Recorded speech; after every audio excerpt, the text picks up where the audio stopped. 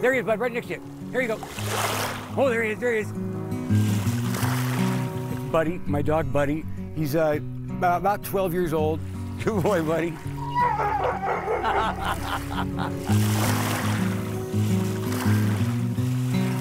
He's a hunter like I, I've never seen. If he sees a seal or a sea lion, he dashes into the water and he, he doesn't come back until either the scent is completely gone or he's exhausted.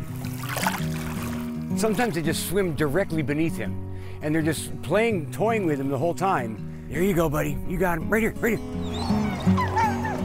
The sea lion don't ever let him get too far away. They kind of bring him back towards the shallower water. And so it's, it's a, just a beautiful kind of communication that they have. He's so old now, and he just has days that are really iffy, and I just don't know if he's in too much pain to go on. But then, you know, he has so much joy out of this, and I just, I could watch him all day long doing this. Good boy, buddy. He's become a real kind of celebrity on the beach here, and everybody says, how's Buddy doing? Did you catch anything? We actually would literally have texts going back and forth saying, hey, have you seen the dog out in the middle of the channel? It's kind of like a, a community chat right now. Come on, buddy. Good boy. He's just, um, yeah, he's a really perceptive and uh, incredible animal. With me, pal. Come on, let's go. And he always comes back in when he's done, and he knows when he's had enough. There's my boy.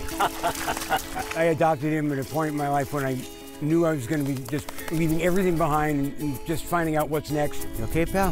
He was, he's been my constant companion ever since. He's a better man than I. Let's put it that way. He's a good boy. I, I adore him. Let's go. I would do anything for this guy. Good boy. Oh, my big old dog. The best friend I've ever had. Good boy, buddy. Let's go this way.